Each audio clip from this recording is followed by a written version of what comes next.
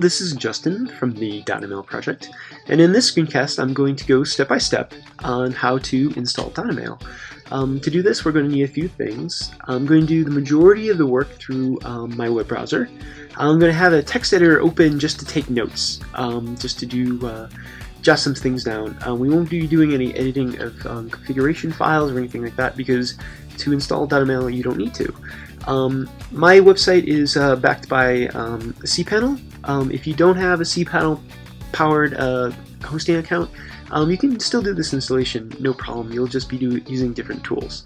So, for, for, example, I'm going to be using the file browser within cPanel just because it's so easy and it's there. And you have a cPanel back website, you already have it. Um, if you don't have that, you can just use uh, like an FTP program. Um, if you do have a different um, control panel uh, backing your website, um, the, the tools I'm going to use might still be there just in a different form. Um, so let's get to it. Um, I'm in my browser right now, I'm just at the Dada Mail homepage. Um, what I need to do is go to the download section of Dada Mail, and there's two things that I need to download. the first is uh, the distribution itself, and the second is a helper script that uh, does a little bit of work for me so I don't have to. So if I scroll down here, I'm looking for Dada Mail 6, and the uh, download link for the actual distribution is this guy right here. So it's labeled here Dada Mail 6.0.0 stable. Um, so I'm just going to click that and uh, start the download. Great. It is uh, kind of big, so it might take a couple minutes to download. While that's downloading, I'm going to look at that page again, and the helper script link is just below. It's called uncompress underscore dada.cgi. I'm going to have to download this too. So um, for this one, I'm going to right click and just go to save link as because um, I need to download it and then we're going to upload both these files to our um, website. So let's save that. Fantastic. If you, by any chance, like just click on the link and you open it up and you just see a bunch of code. Um, if you're not, um, just you know save it and uh, you know save it to your uh, desktop. No worries. Okay, great. So once uh, the distribution and the helper script has been downloaded, we're going to switch gears.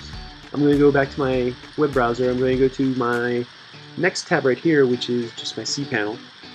And inside the cPanel, we're doing, going to do a couple things. We're going to um, upload the two files we just downloaded to our website. We're going to um, make a MySQL database for Dada Mail, and later we'll make um, some cron jobs to uh, for Dada Mail, basically. So let's uh, let's do the the upload of the files that we just downloaded. So in in cPanel, in the little find area, I'm going to look for file browser. Let's see. Okay, so it's called File Manager here. So here it is. I'm going to click on it. It's going to bring up this little modal menu and ask me, please select the directory to open. I usually start in my home directory. And then there's a uh, checkbox to show hidden files. I like having that too. It's uh, for me because I'm more advanced user, I guess. It's it's just easier for me to know um, that I start my home directory and I can see all my files. So once you uh, make your own decision, uh, press go, and that will launch you into the uh, file manager. So the file manager works a lot like an FTP program. In my uh, previous screencast, when I show you how to install Dada Mail, I usually use an outside FTP programmer. Um, in this screencast, I'm trying something a little different. We're just going to use the, the file manager that comes with cPanel. Just because you, you might already have it if you have a cPanel powered website. it's one less uh, piece of software that you need to download and find that kind of thing. Okay, great. Um, for my demo for this installation, um, we're going to install Dada Mail in your CGI-bin. Um, most uh, websites these days you can install um, CGI scripts wherever you like, but I'm going to use the CGI-bin just because it's there and keep everything straight. So in the left-hand menu where it shows all my different files, To scroll down a little bit and find the one called public underscore HTML. And once I find that, I'm going to click on it.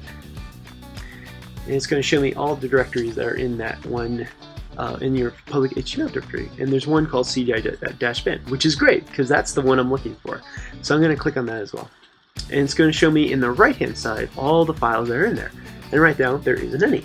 And I want to put some. So I'm going to go to this button that says upload.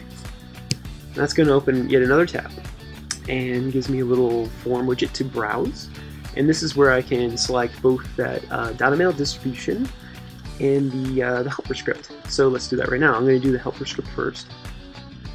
I hit browse, and I'm going to go into, for me, I'm on Mac OS X, I'm going to go into my downloads directory, and those are the two uh, files I just downloaded. So let's select the helper script first because it's really small. And once you once you select it, I believe, yep, the file manager will just start uploading it. And it says it is now complete, which is great. And let's go back to the browse button and select the distribution itself. Great. And as you see, it's giving me a little little dialog menu showing me how long it's going to take.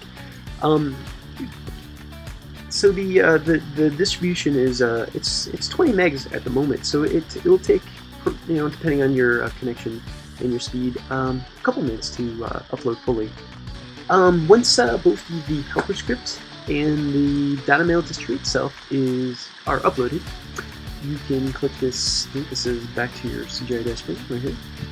And that'll close the window and refresh our view of our CGI dashboard directory. And that's great.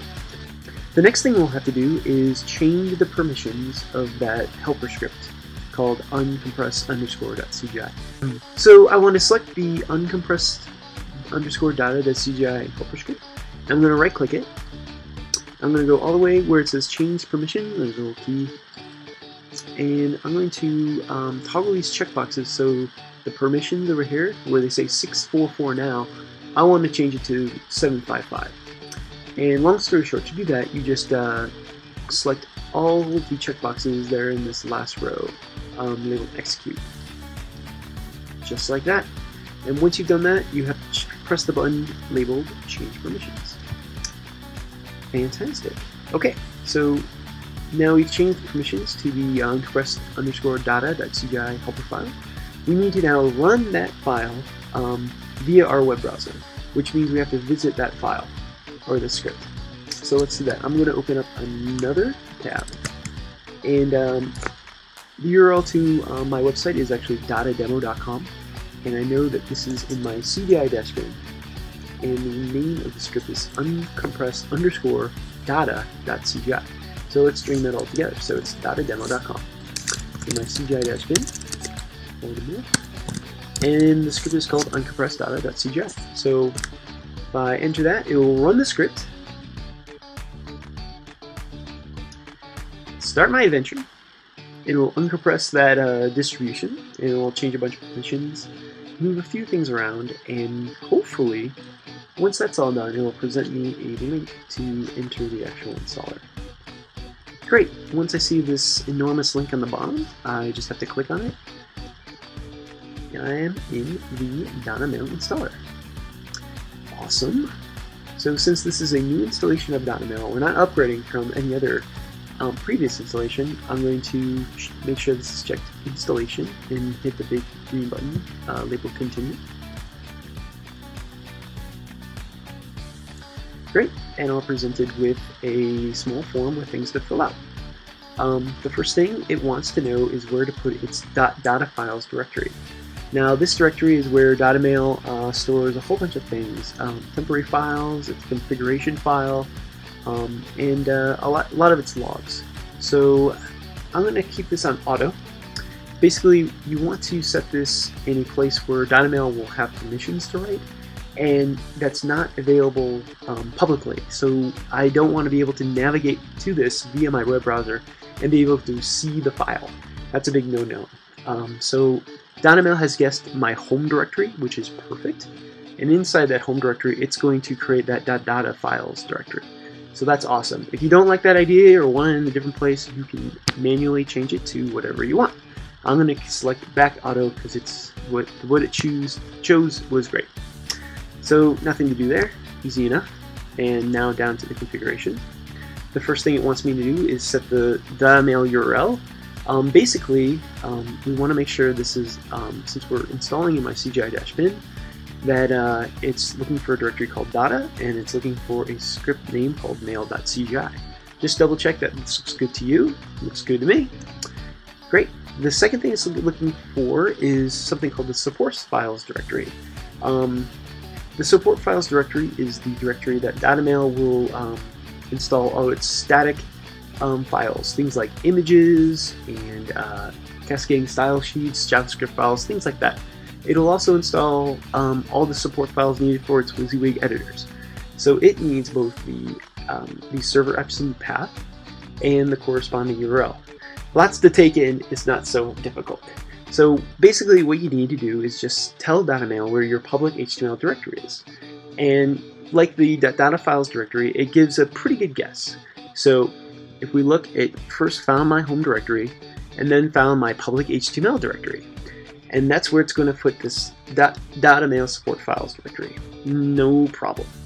And then it looks for um, the URL to my website, which is dadademo.com. And then it's going to say that these two, if I if I put place files in this directory, I can access them in this directory. So um, the default values that gives me works great. So moving on, the next thing it wants to know is my Dada Mail root password. Now this root password is used to um, both create new mailing lists and also it allows you to um, basically log into any existing mailing list, which is great.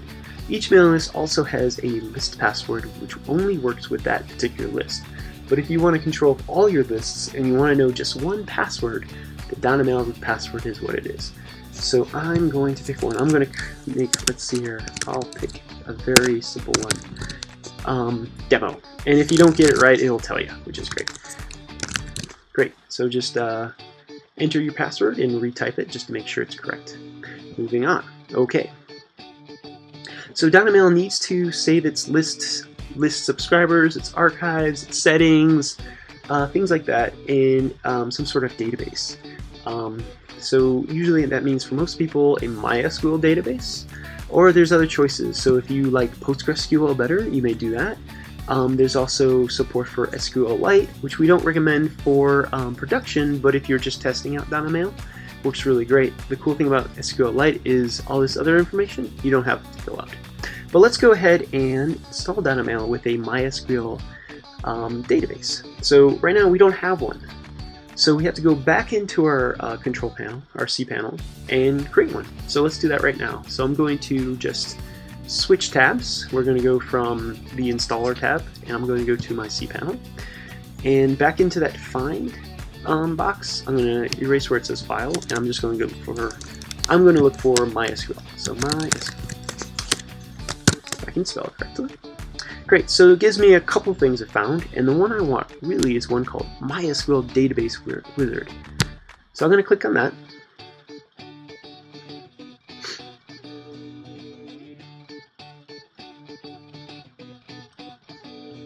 Awesome. So um, step one is to create a database. Perfect. That's exactly what I need to do. Um, and it asks you to create create the name, make it make the name. So I'm just gonna, for shorthand, I'm gonna call this um, DM. So the whole entire database name is dada-demo underscore DM.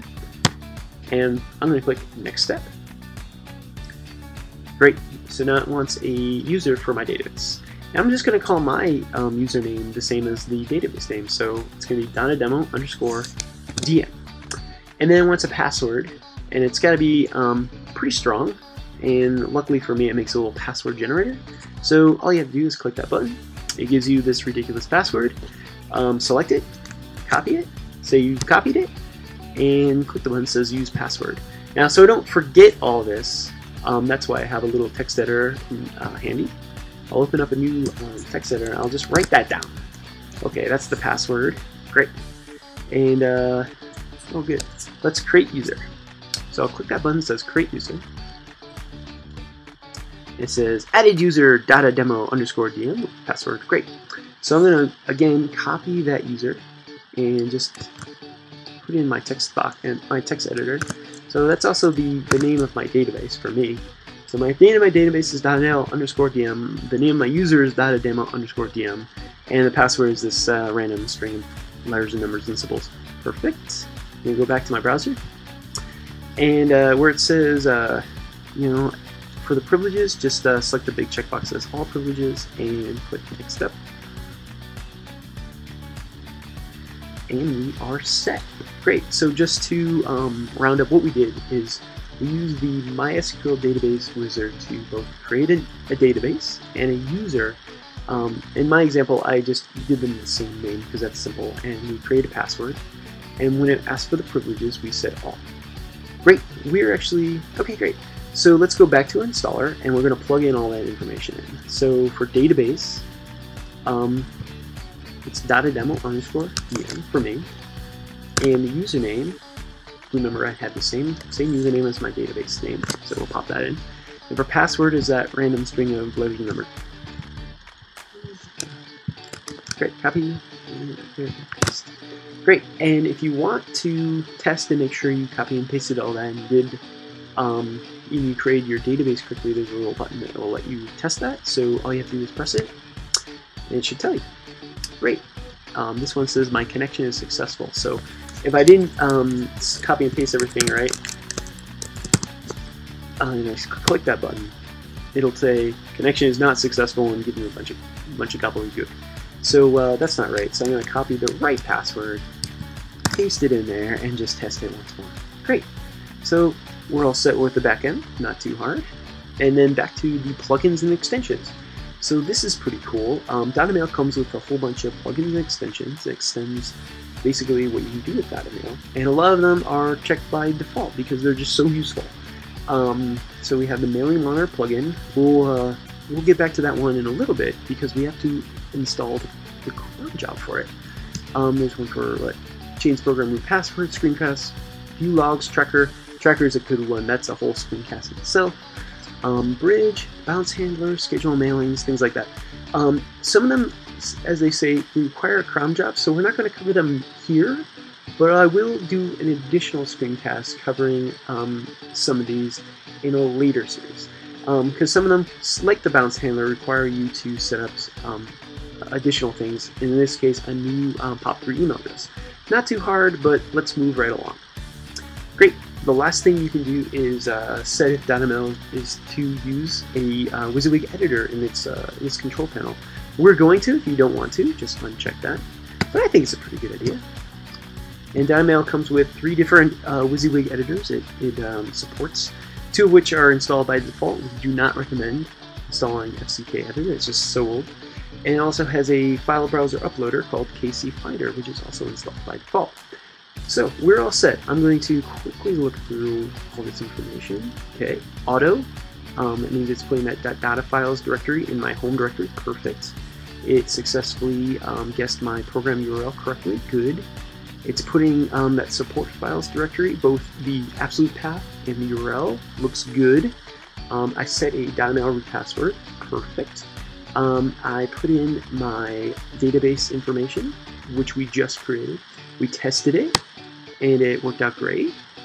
And then we uh, looked at the plugs and extensions. Things look good. We're gonna we're, we might revisit that in a later thing, and we're gonna install the WYSIWYG editors. Okay, great. So once you're all set and you're comfortable and you're you know deep breath, you can just click this green button that says Configure Dada Mail, and uh, yeah, and let uh, the installer do its work. Looking good.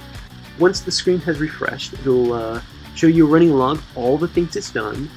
And uh, in our case, they were all successful. So every time it had something it's doing, it's a success. And the last thing it said is installation configuration complete, which is awesome. Um, what you need to do is just scroll down a little bit, and where it says move the install directory, you want to click that button. Um, Dada Mail won't run unless that directory is no more.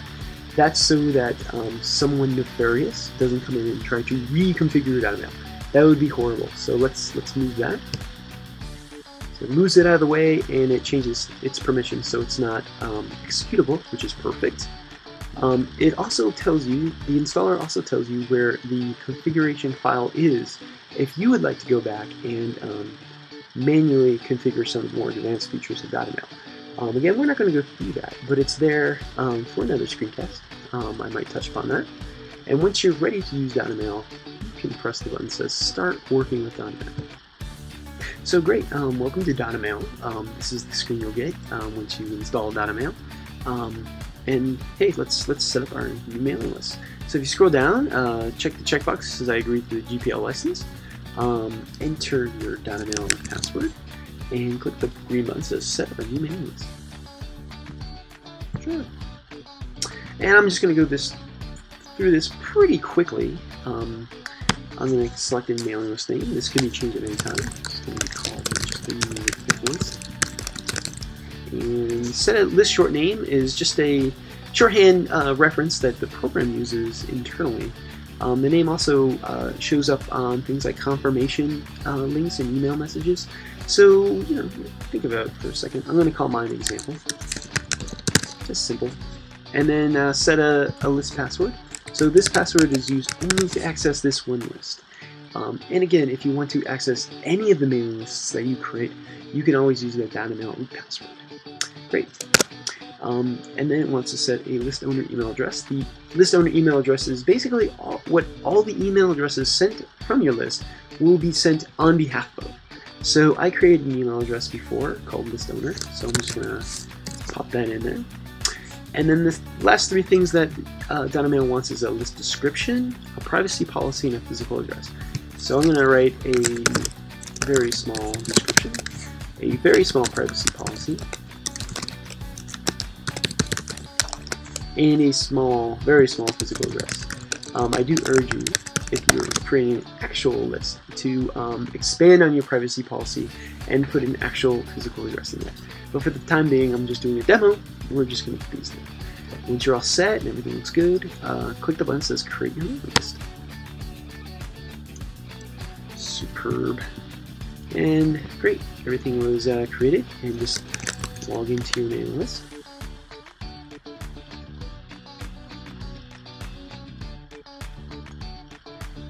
Awesome, and uh, welcome. This is the list control panel of Dada Mail.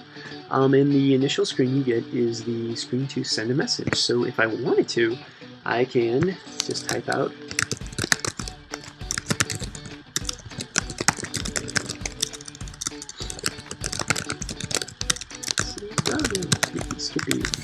Um, yeah, simple message, whatever. If I wanted an image, I can, you know, browse for one, whatever. Um, so that's how you, you know, send a message using Dada Mail. So there's one more thing, this is advanced, but I encourage everyone to do this as well, is we're going to set the cron job for our mailing monitor plugin. And this is a good example and introduction to basically how you set all the cron jobs for all the different plugins. Okay, so where are the plugins located? If you see this left-hand side, there's a big, huge menu, and you scroll down, one of the headings is plugins, and this is where you'll find all the plugins we just installed, because we're pretty awesome. one of them is labeled Mailing Monitor, and I want you to click on that. Great. What the Mailing Monitor does is it um, makes sure that your mass mailings are uh, running successfully.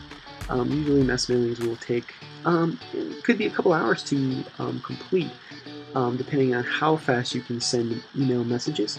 Um, some people, like me on this uh, cPanel fact website, can only send around 500 messages messages an hour. So you have to kind of uh, slow down your, your your mass mailings so they fit below your limit. And thankfully, Dada Mail does that um, by default. Um, and the mailing monitor just make sure that the uh, that that mass mailing is going fine, and so you don't have to constantly check it manually, which is great. So let's set that cron job. So I want you in the screen to go below where it says mainly run mainly, mailing monitor and then it says curl command example for cron job. Perfect. All you have to do is copy this uh, string of stuff, copy, and we're going to go for the last time. We're going to go back to our our, our cPanel. So it's in this uh, tab right here, and I'm just going to go back to cPanel since we're done with the MySQL database wizard. And once you're into the, the cPanel, I want you to go back to the Find box, and I want you to type in cron job, C-R-O-N-J-O-B, and once you get a, a result called cron jobs, I want you to click it. Great, and this is in the cPanel where you set a cron job. And a cron job is basically just um, a task you execute every n minutes, hours, days, months, whatever you like. Um, for this one, we're going to um, have it run every five minutes. So under where it says add a new cron job, where it says common settings, you want to select every five minutes. Perfecto. And where it says command, you just want to paste in that string that we uh, copied from the Mailing Monitor plugin. and you want to click the button, add new cron job. Good job. All right. So I'm going to go back to my mail, and we're going to review what we were able to do. Um, so first off, we downloaded Dada Mail and its helper script. We then uploaded Dada Mail and the helper script using the file manager built inside cPanel. We changed the permissions of the helper script. We then ran the helper script, which uh, unpacked the distribution and got the installer all set for us. We then uh, filled out the installer and created a new database. We um, then uh, used the installer to configure Dada Mail, which was successful. Good job, everybody. And then we uh, actually visited Dada Mail and we created new mailing lists. We checked out the list control panel briefly. I showed you where the plugins are located and we visited one of the plugins called Mailing Monitor. And finally, we set one of the cron jobs for the Mailing Monitor, which is a good template on how to set all the other cron jobs for all the other plugins.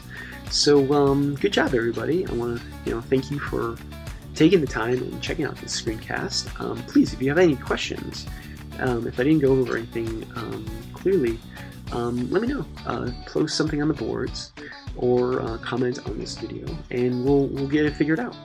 Um, look for additional screencasts that go through some of the other plugins. I want to do a screencast on these on the Tracker plugin, which I think is awesome, and the Bounce Handler plugin, which I think is essential, and the the Bridge plugin, which I think uh, really is one of the the best plugins for extending um, Dada, Mail, It basically allows you to have discussion man lists if you like. Um, until then, um, thanks for watching again, and um, look for those other screencasts.